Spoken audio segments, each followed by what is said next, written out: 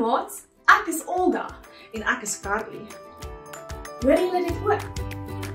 Dis musiek en dit beteken dis tyd om te dans. Is jy reg? Kom julle kom, spring op. Ons gaan nou dans.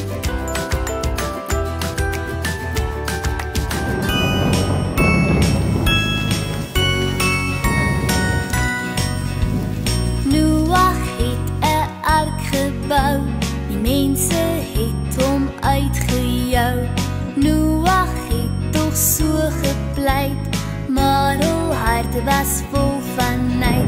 Die reën stort neer in strome. Die reën stort neer in strome. Die reën stort neer in strome. En net maar ag is gered.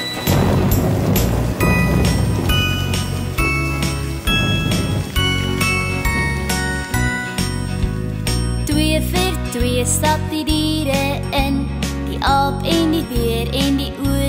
olifant In die ark sit hul en wag Op 'n mooie sonskyndag. Die reën stort neer in strome. Die reën stort neer in strome. Die reën stort neer in strome. En net maar ag is gered.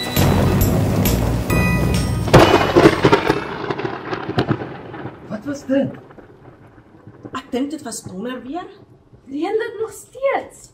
Ja, ek dink hulle het reën vir die hele week voorspel. Solank dit net nie vir 40 dae en 40 nagte reën nie. Hoe so? Dit het een keer vir 40 dae en vir 40 nagte gereën. Die hele aarde het oorstroom. Net die mense en diere in die ark het bly lewe. Wat? Wag. Dit klink na 'n groot storie. So julle moet asseblief net by die begin begin. Die begin. Daar was 'n naam, man met die naam Noag en hy was baie lief vir God. Hy en sy gesin was die enigste mense wat nog lief was vir God en na God geluister het. God was kwaad vir al die ander mense wat bose dinge gedoen het. God het toe vir Noag gesê om 'n ark te bou. God het presies vir hom gesê hoe groot om die ark te bou en wat se hout hy moet gebruik. Ja, want God het gesê dit gaan reën, baie reën. So baie dat die hele aarde vol water gaan word en net die mense en die diere wat op die ark is, sal veilig wees. Sjoe julle, het Noag toe regtig die ark gebou? Ja, ja. Hy het mos na God geluister. Maar die ander mense was baie lelik met Noag. Hulle het allerlei lelike goed vir hom gesê en hom gespot, want hulle het gedink hy is lekker laf om 'n ark te bou. Het dit nie gemaak dat hy liewers nie die ark gebou het nie? Nee, hy het aangehou om die ark te bou, want God, Noag het geweet dat hy baie belangrike werke gekry het by God op hierdie aarde. Wow, en wat het gebeur toe hy die ark klaar gebou het? Toe het Noag en sy gesin en twee van elke soort dier in die ark ingegaan. En God het die deure van die ark gesluit en dit het begin reën. En dit het gereën en gereën en gereën. Vir 40 dae en vir 40 nagte het dit gereën. En toe hou dit op met reën. Die water het so stadig weggesak, want Noag het 'n duif uitgestuur, maar die duif kon nêrens op 'n takkie sit en het maar net weer teruggekom. Na 'n sekere week het Noag weer 'n duif uitgestuur en daardie aand het die duif teruggekom, maar hierdie keer met 'n olyftakkie in sy bek. Dis toe wat ons weet dat ons uit die ark kan gaan. Julle was seker baie bly dat julle uit die ark uit kon gaan. Ons was super bly. Maar die beste deel kom nou. God het beloof dat hy nooit weer so baie water sal stuur nie. En toe stuur hy 'n reënboog om te wys dat hy dit beloof het. Sjoe, dis darem baie mooi, maar ek wonder nou sommer oor Noag. Wat van Noag? Was hy dan net so bly?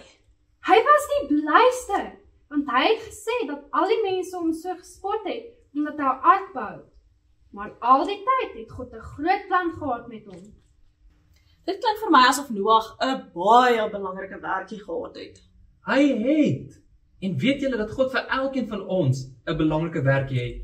Ons moet dalk net net ontdek wat daai werkie is. Maats, Bossie is baie slim. God het vir ons elkeen 'n belangrike werkie. Maar Olga, hoe weet ek wat is my werkie? Hm. Dis nou 'n goeie vraag. Miskien kan jy mooi sing. Maats, as jy mooi kan sing, sit jou hand op jou kop. En as jy mooi kan dans, Of as jy mooi kan bid. ek ek kan mooi bid. Kan ek sommer vir ons bid, Olga? Ja, asseblief, bid vir ons. Okay, maats, kom ons maak gou-gou ons oogies toe en dan bid ons saam. Liewe Jesus, dankie dat ons weet U los ons nooit alleen nie. U is altyd by ons en U hou ons veilig. En daarom weet ek dat ek ook 'n werkie het, want U het 'n werkie vir elkeen vir wie U lief is. So dankie liewe Jesus, dankie vir al my talente en dankie vir alles wat ek het.